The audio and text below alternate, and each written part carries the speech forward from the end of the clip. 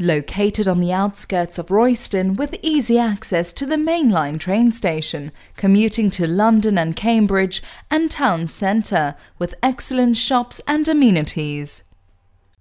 This is a deceptively spacious, well presented first floor two bedroom apartment. There is a communal hard standing garden area backing onto playing fields. Spacious, light and open plan accommodation measuring 28 foot 1, comprising of a lounge and dining area and opening out to the kitchen.